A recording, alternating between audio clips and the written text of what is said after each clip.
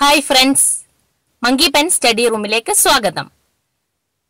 ഏറെ ഉപകാരപ്രദമായ ഞങ്ങളുടെ ഇതുവരെയുള്ള വീഡിയോകൾ നിങ്ങൾ കണ്ടിരിക്കുമല്ലോ. തുടർന്നും കാണുക ചാനൽ സബ്സ്ക്രൈബ് ചെയ്യുക മറ്റുള്ളവരിലേക്ക് ഷെയർ ചെയ്യുക. ഇന്ന് പ്രധാനപ്പെട്ട രണ്ട് ടോപ്പിക്കുകളാണ് ഈ വീഡിയോയിൽ ഡിസ്കസ് ചെയ്യുന്നത്. ഒന്ന് ചാനാർ ലാർല അഥവാ മേൽമുണ്ട് സമരം. രണ്ട് പണ്ടാരപ്പാട്ട വിളംബരം. ആദ്യമായി നമുക്ക് ചാനാർ ലാല എന്താണെന്ന് നോക്കാം. തെക്കൻ തിരുവിതാംകൂറിൽ സാധാരണക്കാരന്റെ പൗരാവകാശങ്ങളും ആത്മാഭിമാനവും സംരക്ഷിക്കാൻ നടന്ന സമരങ്ങളിൽ പ്രധാന പങ്കുവഹിച്ചതാണ് ചാനാർ ലഹള. സവർണ ഹിന്ദു സ്ത്രീകളെ പോലെ വസ്ത്രദാനം ചെയ്യാനുള്ള അവകാശം ചാനാർ സ്ത്രീകൾക്കും ലഭിക്കാൻ വേണ്ടിയായിരുന്നു ഈ ലഹള. മേൽമുണ്ട് സമരം എന്ന പേരിലും ഈ ലഹള അറിയപ്പെടുന്നുണ്ട്. ക്രിസ്തുമതത്തിൽ ചേർന്ന ചാനാർ സ്ത്രീകൾക്ക് കുപ്പായം ധരിക്കാൻ അനുവാദം നൽകിക്കൊണ്ടുള്ള ഒരു ഉത്തരവ് കേണൽ മൺട്രോ ദിവാൻ ആയിരിക്കുമ്പോൾ പുറപ്പെടുവിക്കുകയുണ്ടായി. ഇതുകൊണ്ട് തൃപ്തിപ്പെടാതെ ചാന്നാർ സ്ത്രീകൾ ഉത്തരീയവും അണിഞ്ഞുകൊണ്ട് പൊതുരംഗങ്ങളിൽ പ്രത്യക്ഷപ്പെടാൻ തുടങ്ങി. ഇത് ഇഷ്ടപ്പെടാത്ത ഉയർന്ന ജാതിക്കാരായ ഹിന്ദുക്കൾ ചാന്നാർ സ്ത്രീകളെ ആക്രമിച്ചു.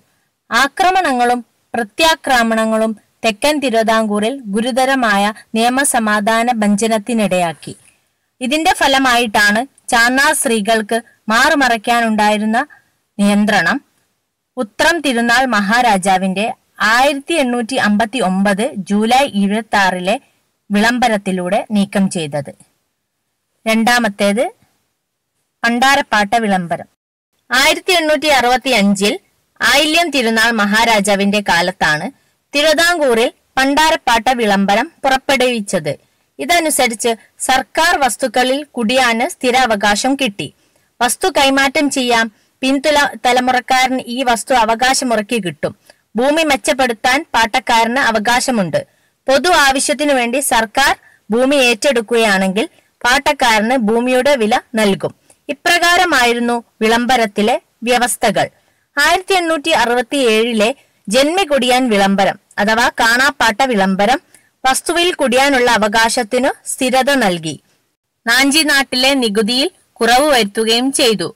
ആയിരത്തി എണ്ണൂറ്റി എൺപത്തി മൂന്നിൽ വിശാഖം തിരുനാൾ രാജാവിന്റെ കാലത്തെ ഭൂസർവേ വിളംബരത്തിലൂടെ സമ്പൂർണമായ ഭൂസർവേയും കണ്ടെഴുത്തും നടത്തുന്ന കാര്യം പ്രസിദ്ധപ്പെടുത്തി.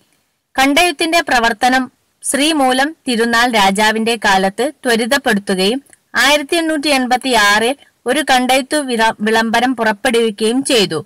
തിരുവിതാംകൂറിൽ ജന്മി കുടിയാൻ റെഗുലേഷൻ നടപ്പാക്കിയത് ആയിരത്തി എണ്ണൂറ്റി തൊണ്ണൂറ്റി ആറിലാണ് ഇതിലൂടെ അസംഘടിതമെങ്കിലും കുടിയാന്മാർ അങ്ങിങ്ങു നടത്തി വന്ന അവകാശ സമരങ്ങൾക്ക് ഒരംഗീകാരമായി.